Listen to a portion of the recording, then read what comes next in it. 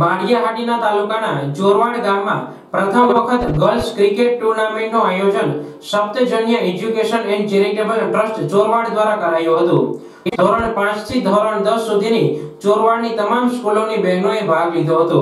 આ આયોજનને તમામ લોકોએ સાથ સહકાર તેમજ સારો પ્રતિસાદ આપીને સપ્તજન્ય એજ્યુકેશન એન્ડ ચેરિટેબલ ટ્રસ્ટને આવનારા સમયમાં ભવ્ય આયોજન થાય અને દીકરીઓ ક્રિકેટ જગતમાં આગળ વધે તે બદલ પ્રોત્સાહિત કર્યું હતું. હું રાજુભાઈ ગોંડલિયા, અર્જુન શૈક્ષણિક સંકુલ ચોરવાડના સંચાલક.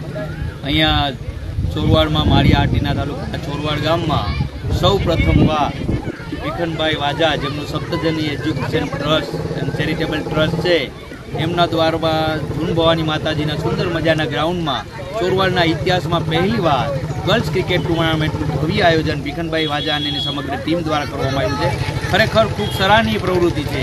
ભીખનભાઈ વાજા દ્વારા ઘણા બધા સેવાકીય પ્રવૃત્તિઓ થોડા સમયની અંદર ઘણી બધી પ્રવૃત્તિ ચોરવાડને આંગણે કરેલી છે. ચોરવાડના લોકોમાં જે ટેલેન્ટ છે, ખાસ કરીને ગર્લ્સ જે, પોતાની ઘરે ક્રિકેટ રમી નથી શકતી, સ્કૂલોમાં રમી નથી શકતા, એવા લોકો છે, એવા લોકોનું ટેલેન્ટ બહાર લઈ આવવા માટે એને ક્રિકેટની ટીમમાં ગુજરાત લેવલે અને ગુજરાતથી નેશનલ લેવલે પહોંચાડવા માટે આ સપ્તજન એજ્યુકેશન ટ્રસ્ટ છે. એમની અંદર ટેલેન્ટને બહાર લેવા માટે ભવ્ય સુંદર મજાનું આયોજન કર્યું છે. આ ટુર્નામેન્ટમાં ચોરવાડની HG Ambani eleven, Jivan eleven, Arjun eleven, Gyanjyot eleven, Sujata high school eleven Krishna eleven આમ કુલ છ ટીમમાં જીવન ઇલેવન વિનય મંદિર ચેમ્પિયન રહી હતી.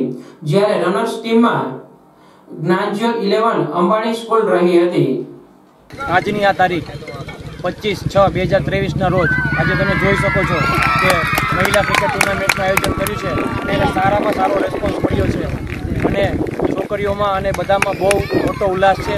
અમે આશા રાખીએ છીએ કે આવી જ રીતનો અમને લોકોનો સાથ સહકાર મળી રહે અને આવનારા સમયમાં અમે ચોરવાડ પ્રત્યે ઘણી બધી પણ પ્રવૃત્તિઓ કરશું. એવી હું આશા રાખું છું. ભારત માતા કી જય. જય